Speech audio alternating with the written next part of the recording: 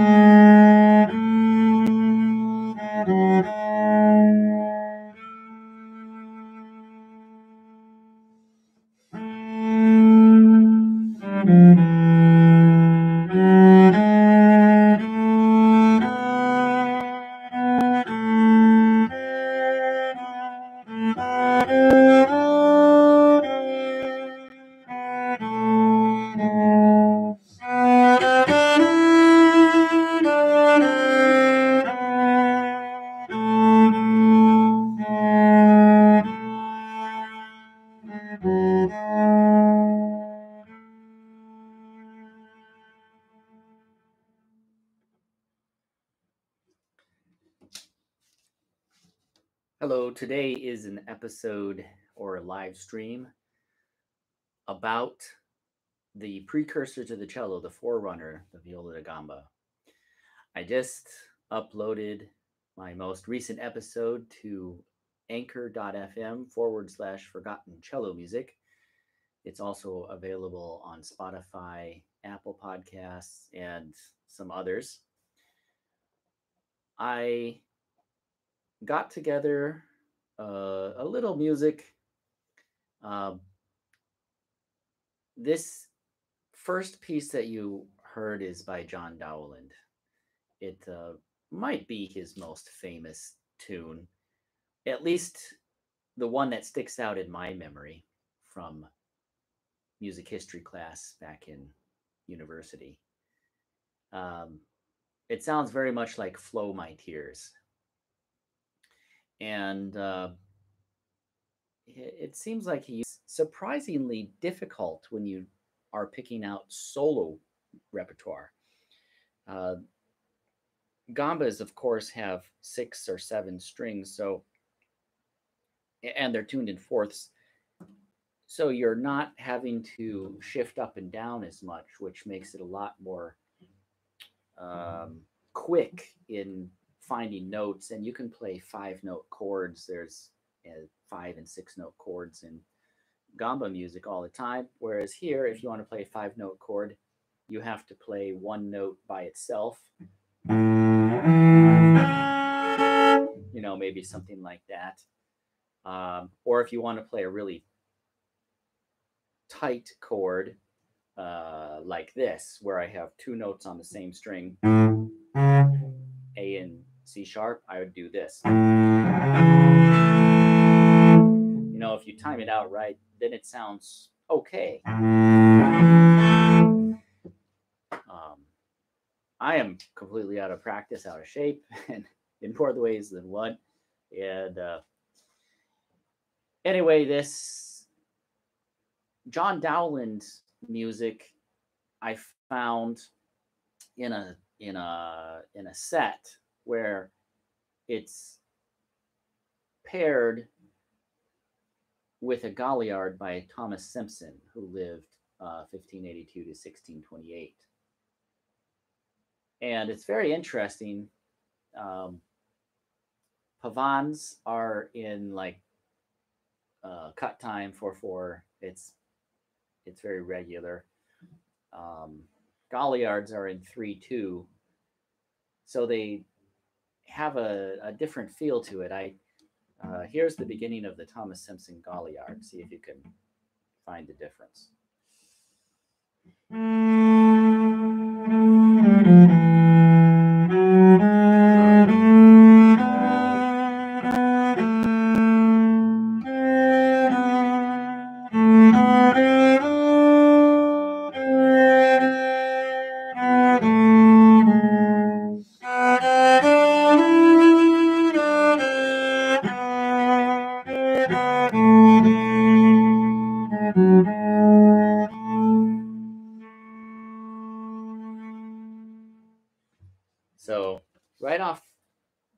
The bat from the beginning, one can hear the difference, I'll play just the first two measures. Here's the Pavane by Dowland.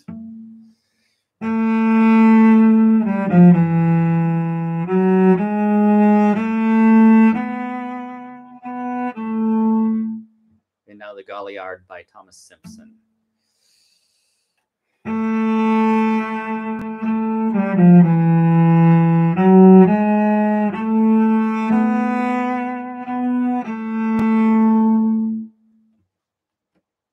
I'd say that the 3 2 is has a little more 1610 to 1670. So it goes like this.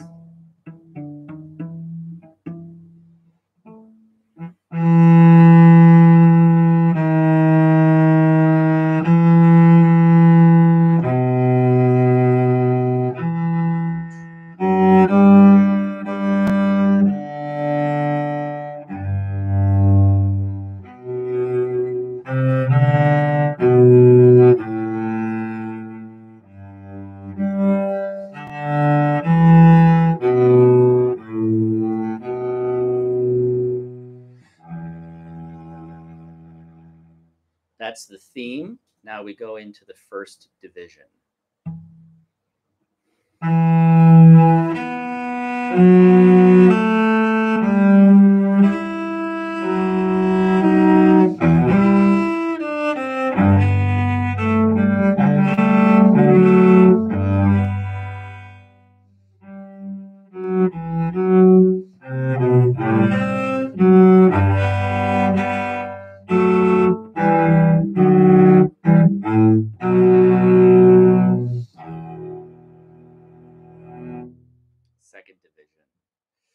Division.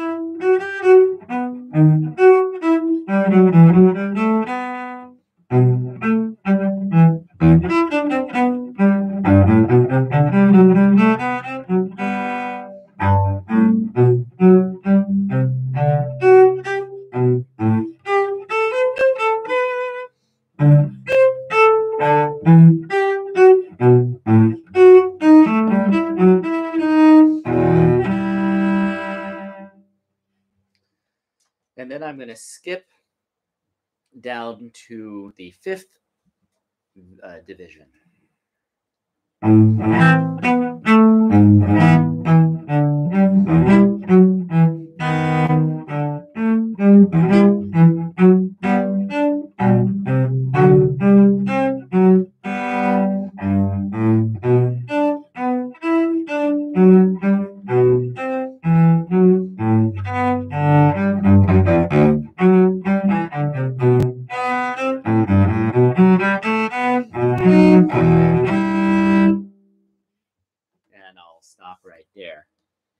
This is very popular in this time period and even through the Baroque, where people would be writing variations. As we get later on into cello dominance in the lower end of the register for instruments, uh, maybe the most famous cello work that is a set of variations is the one by Tchaikovsky called Rococo Variations.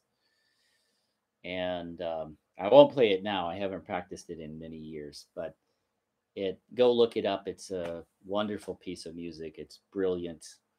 Uh, even the rearranged version by oh, pardon me, I forgot who rearranged it. It was uh, premiered by a famous cellist of the era, and he just completely rearranged it. As the story goes, when Tchaikovsky saw the mutilation of his original score, he didn't protest. He just stated, "Take it, play it." That's a paraphrase, of course. And now that's the way most people play it, although there's been a resurgence. And of course, Stephen Isserlis has recorded the original which is really cool. Go listen to that one too. It's worth worth the time. Now we go to a composer from 1660, born in 1660, named Johann Schenk. Uh, this is a viola da gamba piece, and it's from a suite in A minor. But the cello is already beginning to make some headway in the the world of orchestra and solo playing because of its louder qualities, stronger qualities. Anyway, this is a prelude from Johann Schenk's Suite in A minor.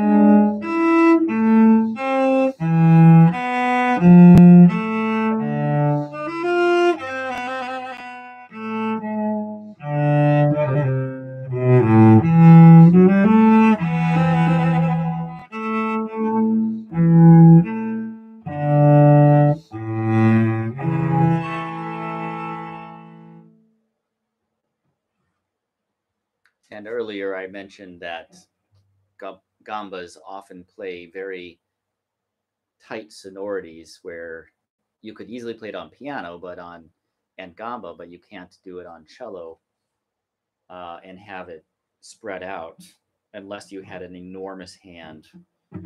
And uh, I've tried this many times, and it just doesn't work, as you can see and hear. But if I wanted to play it with the C sharp, the third, I'd have to do it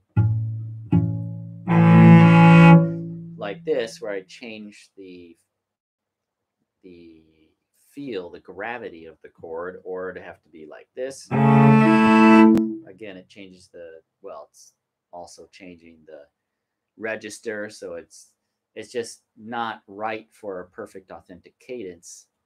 So you could do this where you'd have kind of a very faint third, or you could do it the way I chose to do it. I think it's pleasant if you can practice it so it comes out smooth.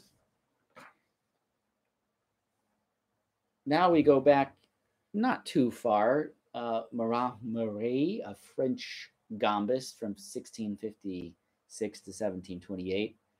Very well known and prolific composer uh, and player, of course, of the viola da gamba. So he wrote, it's quite lengthy.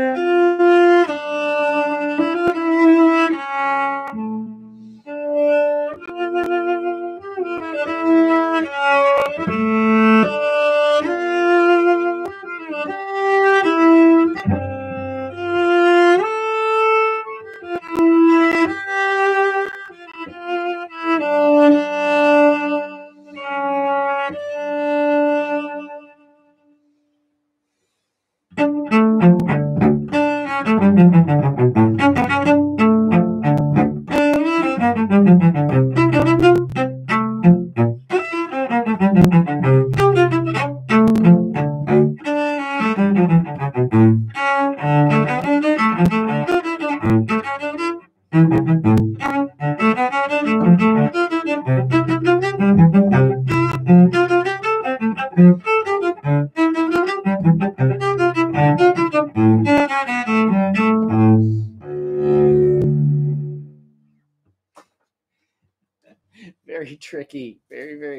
Tricky stuff. Case a little bit more of what was the the general feel toward the end of the 17th century when the cello was starting to gain a foothold. Here's a piece by An- Arcangelo Corelli. This comes from um, uh, Sinfonia, and it's the jig or giga. And he lived from 1653 to 1713.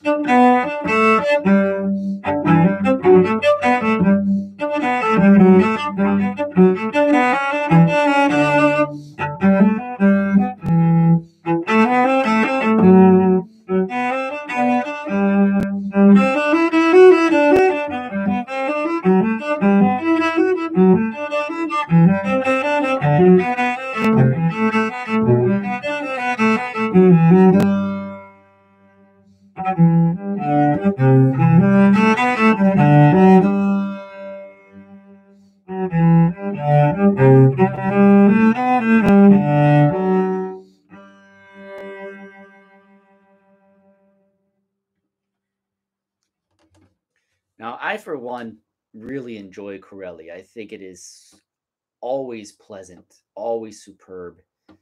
Uh, just rolls along very easily and naturally. Uh, of course, there's always, you know, everybody has heard it, although may, they may not be aware that there's this very famous Christmas uh, concerto, concerto grosso, uh, and I think I said it wrong at the beginning. This is from a concerto grosso. Um, the Christmas concerto, and uh, it's this is another thought that just popped in my head. And if you haven't listened to it conscientiously, knowing that it's Corelli, go look for it. The Christmas Concerto by Arcangelo Corelli. Just fabulous music. I mean, it's it sounds Christmassy. Uh, it's sparkly, it's dancey, and it's happy. Um, but it's really good for any time of the year. Just just like well, Christmas music is good for any time of the year. If you want to think about snow, and I happen to live in a place where snow is not possible, unfortunately. It's too too bloody hot then um, goes something like this.